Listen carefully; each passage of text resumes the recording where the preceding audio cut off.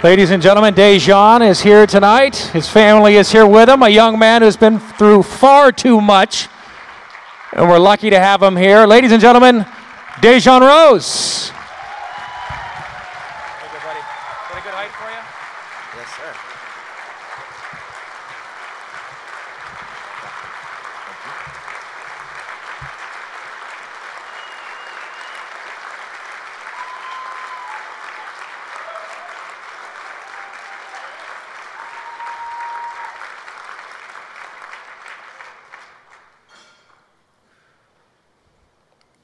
evening.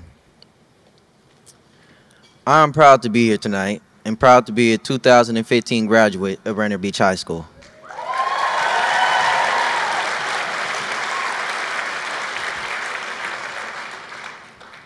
But I would have not achieved that goal and in the process turned my life around without the Boys and Girls Club. I've had some pretty challenging times.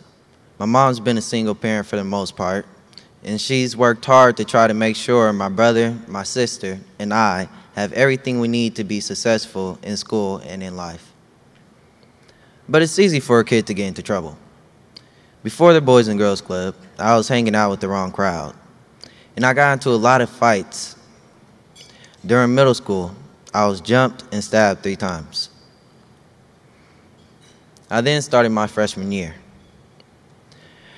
With poor attendance, as I was taking my little sister to school every morning because my mom had to be to work early. During my sophomore year, I was shot in both my legs during a drive-by targeting the kid I was talking to. Thank God I recovered. But I continued to fall behind at school. They say when it rains, it pours. During this time, my stepdad, who was a very much part of my life, passed away. This took a real toll on me and my family. A great deal of anger and resentment grew inside me, and I started to grow, slip away even further from academics while my family was in chaos. Fortunately, I was connected with the Boys and Girls Club during my junior year. My brother was living with my grandmother, and I moved in with them. He had been going to the Boys and Girls Club, and both of them were continually on my case to go, so I finally gave in. My brother introduced me to the Seattle Youth Violence Prevention Initiative Network at the Rainier Vista Boys and Girls Club, and they helped me get various paid internships and jobs. The Boys and Girls Club is my second family because they stood behind me and encouraged me through good and bad times.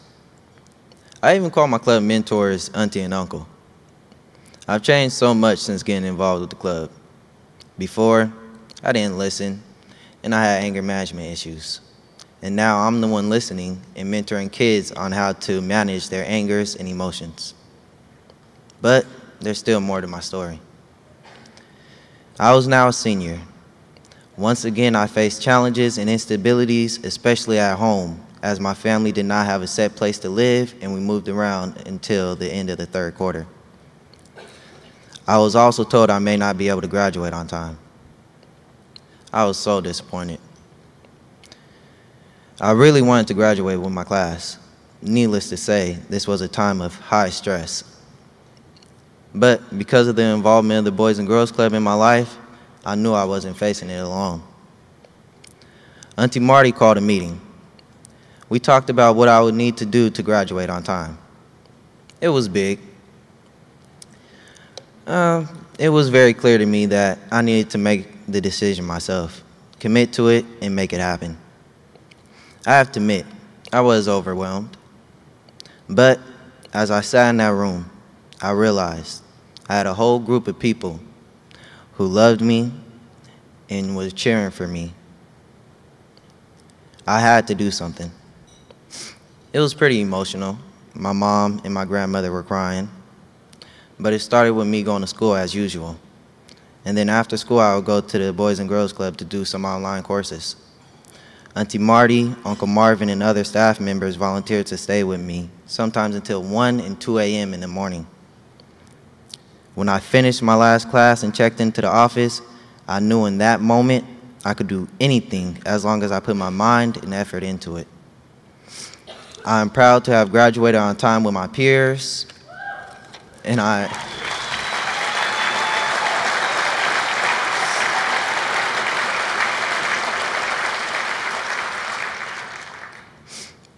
And I am proud to stand here before you today and say that I have overcame my adversities and accomplished goals that people said I couldn't do.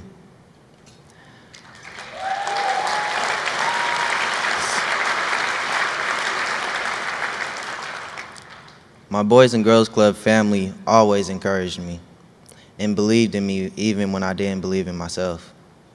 The club staff are always there for the kids and their families. And I'm just one of the kids whose lives turned out for the better because of the Boys and Girls Club.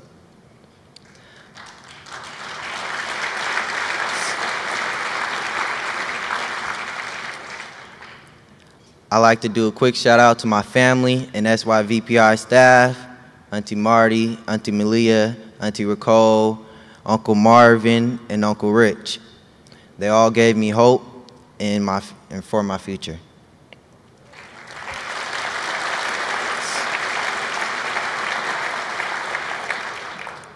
I thank them for encouraging me and helping me accomplish my goals, and I thank you all for listening to me this evening.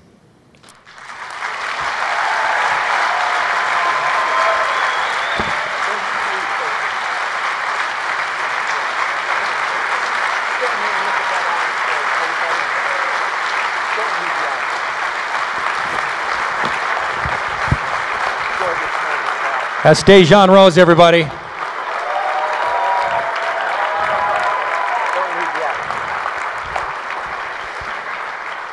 Before we get started, the videotape was your mom, is that not so? Yes. And is she in the house tonight? She's in the back. Would you like to introduce her and have her stand, please? Yes. Uh, mother, may you please come up here, please? oh, oh he's trying to call you up to good. the stage. Ooh.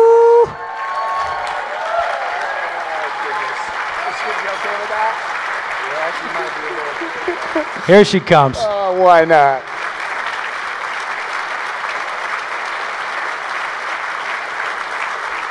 Wow. Give her a hug and tell her you love her, will you?